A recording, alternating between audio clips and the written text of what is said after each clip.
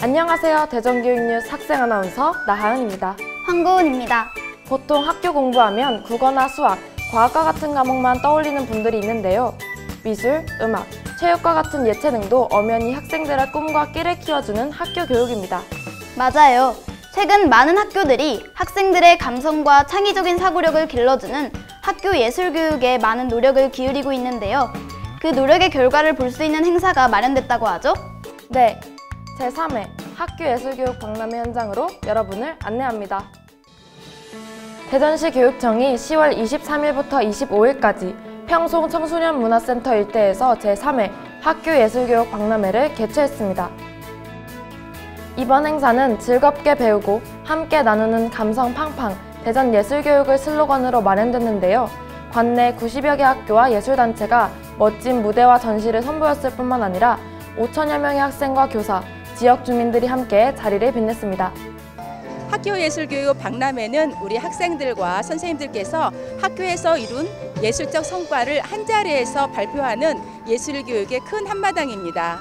올해에는 90여 개의 학교에서 또 지역 예술 전문가들께서 다양한 공연과 전시, 체험 등을 준비해주고 계십니다.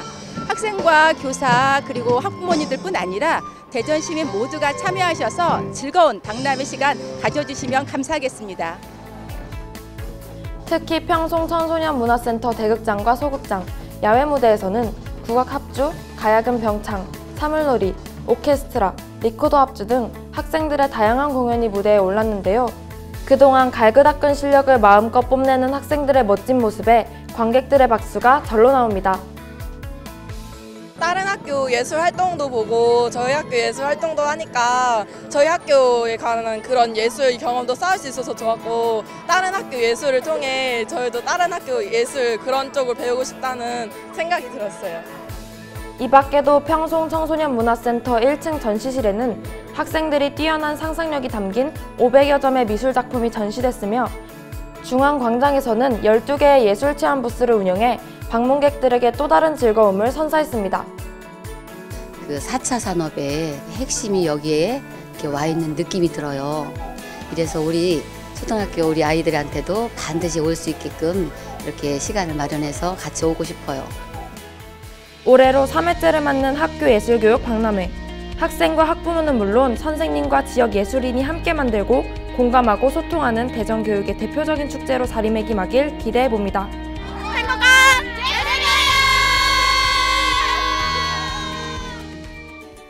학생들의 땀과 노력을 엿볼 수 있는 다양한 예술 공연과 술 작품을 보니까요. 대전교육에는 다양한 끼와 재능을 가진 학생들이 참 많은 것 같습니다. 네, 아직은 뭐든지 할 수 있고 또 앞으로 뭐든지 될 수 있는 나이잖아요. 계속해서 대전 예술교육을 통해 자신의 꿈과 미래를 찾아가는 씩씩한 여러분이 되길 바랍니다. 이어서 대전 교육 뉴스 한 주간의 행사와 짧은 소식 전해드립니다. 대전시 교육청이 공모전을 통해 모집한 169개 대전 교육정책 아이디어를 창의적인 교육 정책으로 개발하기 위해 학생과 학부모, 교직원, 대전 시민과 함께 서로 의견을 나누는 2019년 제2차 대전 미래 교육 포럼을 개최했습니다. 이번 포럼은 대전 교육 정책 개발 과정과 방향에 대한 주제 강의, 정책 개발 원탁 토론, 전체 토론 순으로 진행됐으며 전체 토론에서는 참가자들이 직접 대전 교육 정책 탑10을 선정했습니다.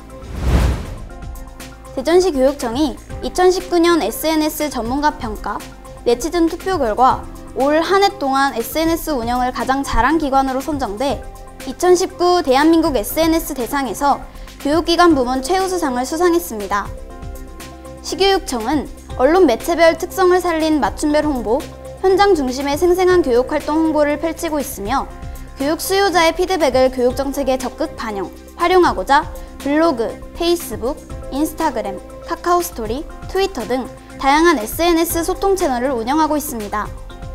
또한 교육 정보를 보다 효과적으로 전달하기 위해 카드 뉴스, 라이브 방송, 인포그래픽 영상 등의 콘텐츠를 제공하고 있으며 교육 현장 소식을 스토리가 있는 콘텐츠로 소개하는 등 참여형 정책 홍보를 실현하고 있습니다. 대전시 교육청이 10월 19일과 20일 대전 컨벤션 센터에서 제11회 대전 수학축전을 개최했으며 이틀 동안 행사장을 다녀간 방문객이 4만 명이 넘을 정도로 큰 성황을 이뤘습니다. 이번 축제는 수학 체험전, 수학 경진 대회, 수학 동아리 컨퍼런스 등 기존 행사 외에도 수 마켓, 수학 방탈출 게임, 수학 보드 게임 등 다채로운 전시와 체험 프로그램을 새롭게 마련해 역대 최대 규모로 진행됐습니다. 대전시 교육청이 10월 21일부터 25일까지 관내 초중고 20개교 학생 800여 명을 대상으로 다양한 체험 학습을 통해 성숙한 민주시민으로서의 기본 소양을 배우는 대전 민주시민 탐방길 현장 체험을 운영했습니다. 이번 체험 활동은 민주, 독립, 평화, 인권, 소통, 나눔 등 민주화의 의미를 되새겨볼 수 있는 역사적 현장을 탐방하는 초, 중, 고각 5개 코스에서 진행됐습니다. 가을을 결실의 계절이라고도 하잖아요. 요즘 시장에 가면 먹음직스러운 싱싱한 색깔들이 한가득 나와 있습니다. 네, 사과, 배, 단감, 석류 등등. 특히 저는 자몽을 좋아하는데요. 제철 과일은 우리의 입맛을 살릴 뿐만 아니라 건강에도 좋다고 하죠. 맞아요.